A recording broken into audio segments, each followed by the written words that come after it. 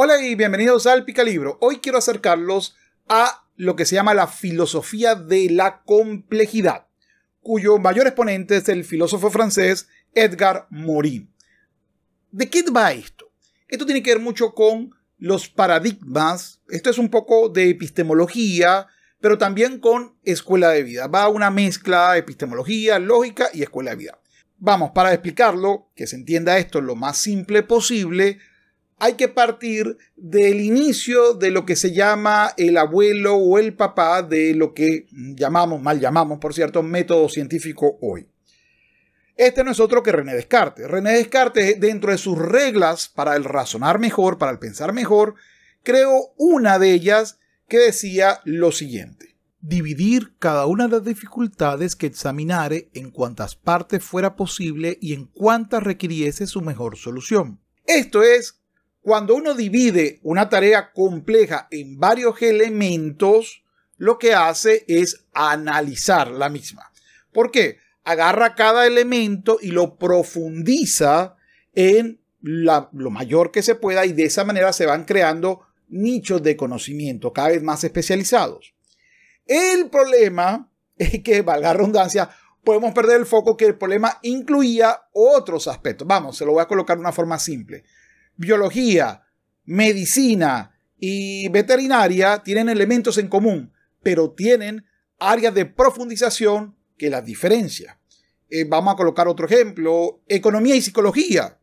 Son dos elementos separados, pero ambos tratan sobre el ser humano, sobre la conducta humana, una reflejada en, en moneda, en dinero, y la otra pues reflejada en conductas o sentimientos, etc. Y por colocar un ejemplo más actualizado, la psicología y las neurociencias, o aún mejor, lo que se llama las ciencias de la complejidad, que cada vez cogen más eh, aires, cada vez son más comunes y que cada vez se van ampliando a más categorías pues, científicas. Pero, ¿de qué va esto? Recuérdense, para poder analizar y siguiendo la regla de Descartes, del método cartesiano, debemos de simplificar en bloques funcionales el conocimiento. Vamos, si vamos a hablar de Fernando, o sea, de mi persona, usted puede hablarlo como un youtuber, como un creador de contenido, como un padre, como un ser viviente, como un componente de la economía, como un componente de la sociedad, como un elemento de la moral, valga usted de cómo lo puede hacer. Pero cada una de estas visiones, a, a pesar de que es el mismo objeto, lo ve con un aspecto o con una prisma, con una visión diferente. En el mundo del conocimiento especializado, del conocimiento válido, más que el conocimiento científico, el conocimiento válido, tú tienes dos opciones. O haciendo un símil, hacemos un pozo de profundidad ad infinitum, es decir, se especializa en un área específica, pero eso sí, el espacio es de 5 metros cuadrados. Por eso es que de repente, cuando tú dices, yo estudio medicina, soy doctor, pero soy doctor especializado, por ejemplo, en, no sé, un órgano, el sistema circulatorio, y específicamente en cirugía de corazón. Es decir, hay una especialidad de una especialidad. Por ejemplo, en el derecho, mucha gente dice, ah, eres abogado, debes saber todas las leyes. Eh, no, cada uno se va ejerciendo pues una especialidad. Eh, lo mío es lo laboral, lo mío es lo penal, lo mío es lo probatorio, lo mío es lo procesal, lo constitucional, lo electoral, lo tributario y valga usted. Y aparte de eso, dentro de esa especialidad hay más especializaciones. Vamos a mirar lo tributario. Soy experto en tributario eh, de sucesiones. Soy, soy experto en tributarios eh, corporativos o en X, Z o Y. Así cada vez te vas especializando. Soy abogado especialista en derecho penal financiero, o X, para no afectar mucho el algoritmo de esta plataforma en la que se va a publicar el video.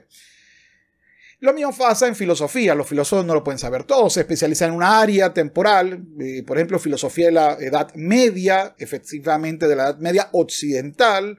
O se especializan en un área, epistemología, por ejemplo, o en un autor, Heidegger, Sartre, eh, Camus, por hablar de los existencialistas, por ejemplo o bueno, un área, los existencialistas, los absurdistas, los estoicos, la antigüedad, pare usted de contar. Es decir, hay especialidades.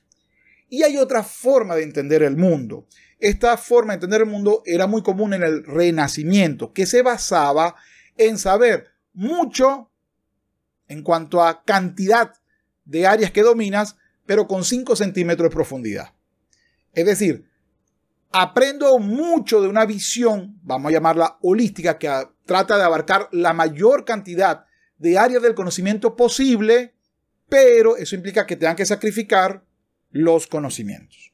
Pero desde hace unos 100, 150 años para atrás, es decir, de hace 150 para acá, la idea de Descartes se fue abandonando. Ya no necesito esa, esa profundidad, ese pozo de kilómetros en profundidad. Sí lo sigo necesitando, ojo, pero es el concepto del experto, el especialista. Pero ya no basta para los nuevos descubrimientos. Los nuevos descubrimientos van a requerir obligatoriamente que estos pozos gigantes y profundo conocimiento se puenten entre ellos. Es decir, empiecen a intercambiar información entre ellos para crear nuevos descubrimientos, nuevas innovaciones. En caso contrario, no es posible esto. Y esto ya lo colocaron dos de las grandes eminencias científicas del siglo pasado. Y eso está citado en un libro llamado Convergencia que trata de explicar a través de ejemplos científicos, es decir, a través del desarrollo de la ciencia del siglo pasado, cómo cada vez más se abandona la especialización propiamente dicha y se busca una convergencia de conocimientos. Peter Watson, en su libro Convergencias, el orden subyacente en el corazón de la ciencia, hacía dos citas maravillosas que van muy bien con la teoría de la complejidad. Nos dice Albert Einstein, qué maravillosa sensación la de reconocer la unidad en un conjunto de fenómenos que a la observación directa se muestran como cosas distintas. Y Niels Bohr también decía algo parecido. La historia de la ciencia nos enseña una y otra vez que ampliando nuestro conocimiento podemos llegar a reconocer relaciones entre grupos de fenómenos que hasta entonces parecían inconexos.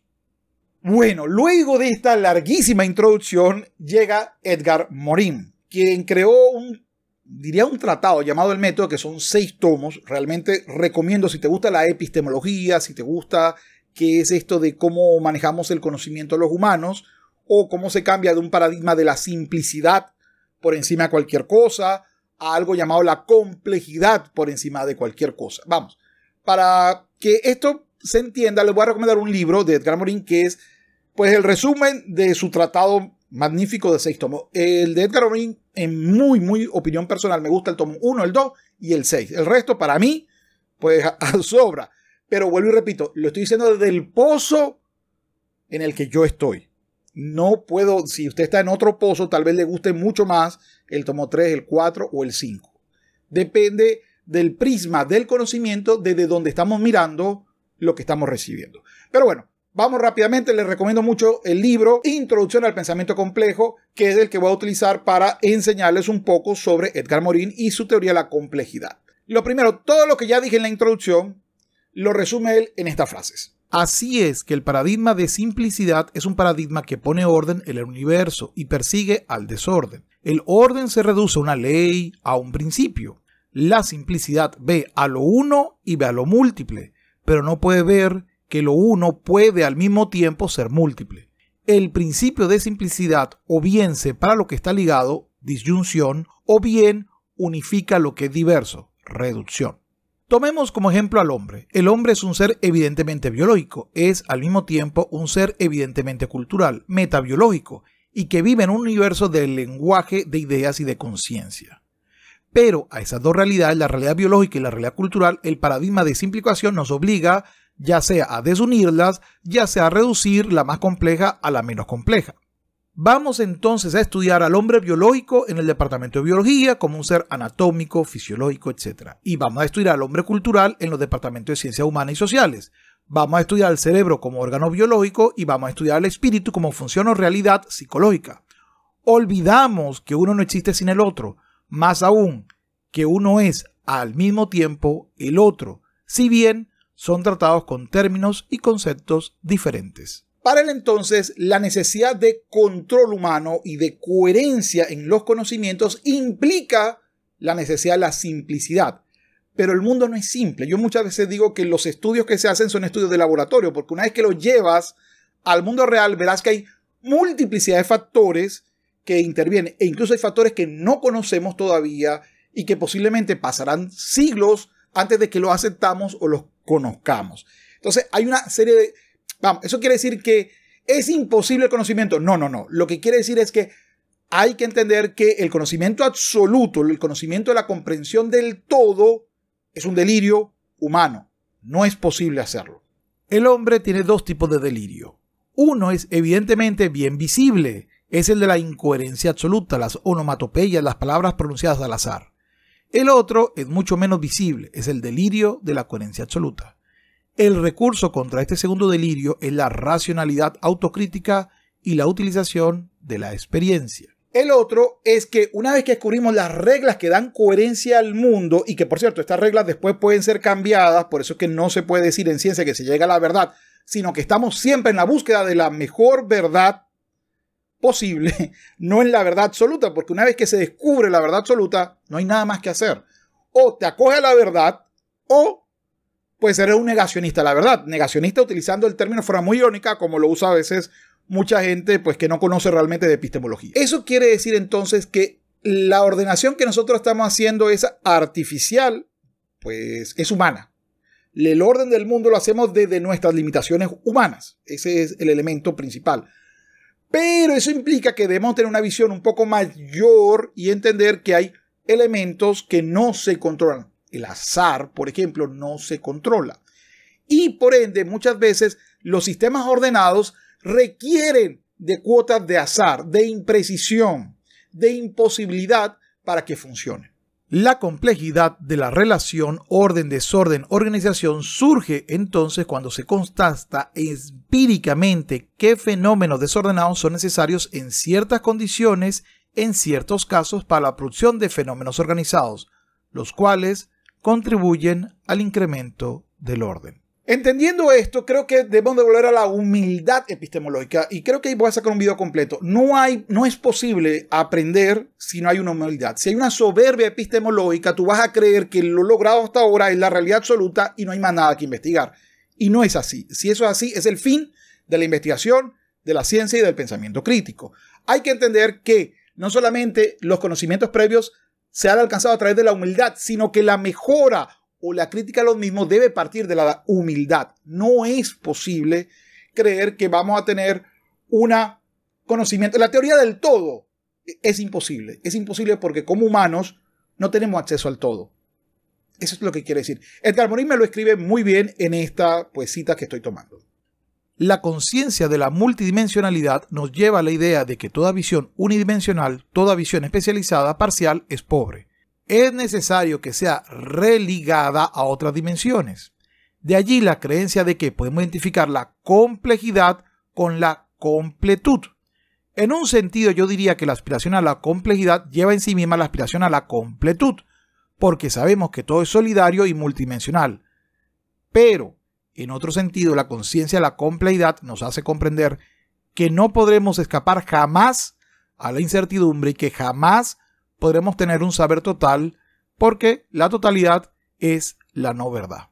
Pero ¿en qué se basa y en qué se diferencia particularmente el paradigma de la simplicidad versus el paradigma de la complejidad? Bueno, según Edgar Morini, aquí sí me separo un poco porque creo que la simplicidad no va solo en esos dos aspectos que él relata y tampoco creo que el pensamiento complejo utilice esos tres principios que él relata. Pero bueno, como vuelvo y repito, esto es una introducción, voy a dejarlo acá y posiblemente si este video gusta, nos adentremos un poco más en el pensamiento de Edgar Morin, por lo menos en esta parte, que es muy interesante, pero epistemología, pues no diría pura y dura, pero sí es un poco dura, realmente es un poco más nivel avanzado 1, no, no, no 5, pero nivel avanzado 1. El paradigma de complejidad provendrá del conjunto de nuevos conceptos, de nuevas visiones, de nuevos descubrimientos y de nuevas reflexiones que van a conectarse y reunirse. Estamos en una batalla incierta y no sabemos aún quién la llevará adelante, pero podemos decir desde ya que si el pensamiento simplificante se funda sobre la dominación de dos tipos de operaciones lógicas, la disyunción y la reducción, ambas brutalizantes y mutilantes, los principios del pensamiento complejo entonces serán necesariamente los principios de distinción, conjunción e implicación. Vamos, los humanos tenemos que entendernos como una pequeña parte en un mar de conocimiento que aún no dominamos y que posiblemente no podamos dominar porque formamos parte del mismo. Vamos, e, es como el, chiste este o el cuento este de el pez que está en el agua que no se da cuenta que está en el agua. Bueno, como nosotros somos los que lo analizamos a través de nuestras propias visiones y experticia, posiblemente las mismas, si no entendemos que tenemos esas limitaciones, no nos sirven para comprender la realidad más allá del mundo observable. Eh, todos los que trabajan con astrofísica son uno de los primeros que se han dado cuenta de esta realidad. Nuestras coordenadas funcionan muy bien en el mundo perceptible por los sentidos, pero en otros mundos, por ejemplo, en pues, un mundo microscópico donde nuestros sentidos solos no lo captan, que necesitamos aparatos muy especializados para captarlo, necesitamos aplicar unas reglas que no se aplican a nuestra percepción. Y fuera de la Tierra necesitamos aplicar otras reglas que posiblemente no se apliquen tampoco acá. Y esto es parte de precisamente la complejidad y de la humildad en el conocimiento. Bueno, es todo por hoy y quiero agradecer, antes de terminar el video, humildemente a mis Patreon que permiten pues tocar estos temas que yo sé que no son pues muy populares y vienen a continuación. Humberto On, José Flores, Eva García Franco, Miguel de la Rosa, Joaquín López, Marvin Jarquín, Jorge Guerra, El Perro de Diógenes, Humberto Ávila, Rocío Cori, Luis Vargas, A.I., Alex, J. Frigo, Cris Balco, Tony Macías, Guillaume Paradrón, Marcos, Alberto Rojas, Alfonso, Leonel Virrojas. Cris, Lula, Jaime Almenares, Gonzalo Alcina, Harry Bon, Miguel Morales, Israel Hernández, Eduard Soto, Miuras 92025, Mariano Sibila, Ernesto Pablo, Sir Trapselop, Derliana, Nelson Molina, Javier, Julio Ortiz, Cristian Contreras, Sergio Delgado, Pablo Kevin, Fernando Tora y Diego Londoño. Muchísimas gracias por el apoyo al canal. ¿Qué piensas tú? O sea, está cambiando el paradigma, es cada vez más común en vez de la ultra especialización de las áreas una vez una creación de áreas o de ramas que se complementan, como la neurociencia con casi cualquier cosa, que por cierto creo que eso también es un error, pero bueno, eso se está haciendo, o pues el concepto de el análisis de datos que implica de, estadística, matemática, lógica, pero también implica psicología, sociología, tal vez historia, filosofía. ¿Qué, ¿Qué piensas tú? ¿Crees que realmente está yendo a un mundo cada vez de ciencias complementarias, creando ramas auxiliares llamadas complejas o no es así la cosa. Recuerda tus comentarios aquí abajo son muy bienvenidos, al igual que tu suscripción o tu apoyo por Patreon. Todo eso es muy bienvenido. Y bueno, si le das me gusta y lo compartes, aún mucho más agradecido.